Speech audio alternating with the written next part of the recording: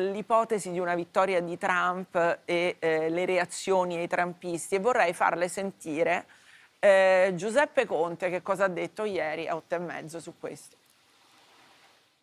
Io credo, io credo, che Trump... Per non parlare so, del Medio Oriente... Per quanto riguarda le politiche di Trump le ho già sperimentate, io non le condivido tutte assolutamente, Va abbiamo avuto insomma. varie differenze, cioè, però io credo e spero che chiunque sia, e se fosse lui immagino che si eh, sperimenterebbe mm. per un negoziato Quindi... di pace, perché non abbiamo una via sì. d'uscita con la Russia, sì. se non l'escalation militare, la guerra nucleare. No, Ma... questo speriamo proprio di no. Quindi non, non, è vero che chi pensa e chi scrive come Stefano Folli che il secondo Trump ritroverebbe Giuseppi, che è il famoso tweet di Trump 1 con soddisfazione, Salvini a destra e Conte a sinistra. La mappa delle relazioni Guardi, con l'Italia è già scritta. Scusi, le dico molto sinceramente, se lei ricorda, a memoria storica e non ne ho dubbi, io sono quello che ha sottoscritto l'accordo con la Cina, la via della seta, quando c'era Trump. Ho scontentato gli americani. Eh, infatti ho detto agli americani che dis... la Meloni ha fatto Scusi, ho detto che il disimpegno in Libia non andava bene degli americani, ci ha creato dei grossi problemi.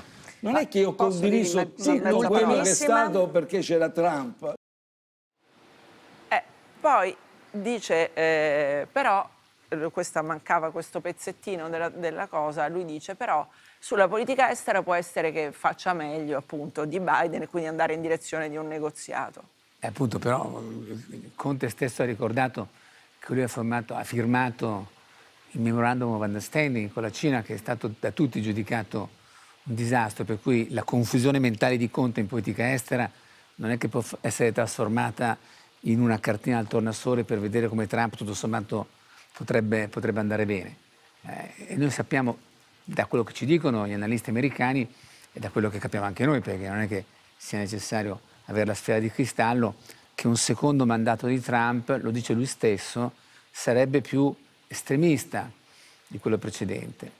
Ora, se c'è una cosa che Trump ha fatto in maniera confusa è stata la sua politica estera. Qualcuno si ricorderà quando andò in Corea del Nord, lo show con il dittatore Kim, l'attraversamento della linea armistiziale, con quella specie di balletto. Quindi, insomma, francamente.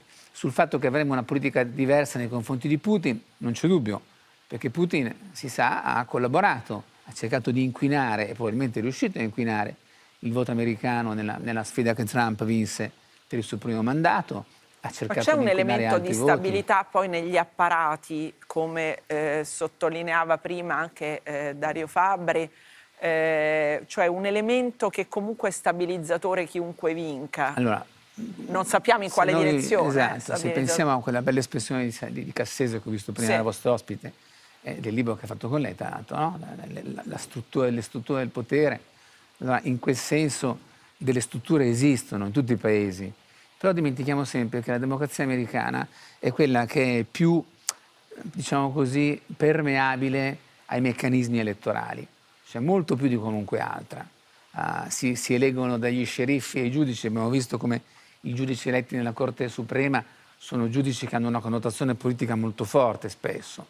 Quindi le strutture del potere è ovvio che possono frenare certi, certe fughe in avanti, ma il problema è che in una condizione di emergenza come questa, in cui siamo da due anni in una guerra d'aggressione della Russia nei confronti dell'Ucraina, in cui c'è una minaccia nei confronti della Moldavia, c'è una minaccia nei confronti dei paesi baltici, che sono paesi membri della Nato, c'è un un'oggettiva a maggiore attenzione che gli Stati Uniti dovranno riservare alla Cina, chiunque sia il presidente, e quindi c'è più necessità di un'Europa capace di sostenere la sua parte dello sforzo e di essere anche in grado di, di agire comunque voglia, a prescindere dal fatto di avere sempre le spalle coperte dagli Stati Uniti.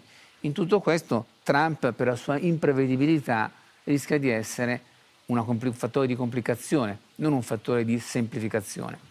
Eh, sei d'accordo Luigi Conte? Sì, sì.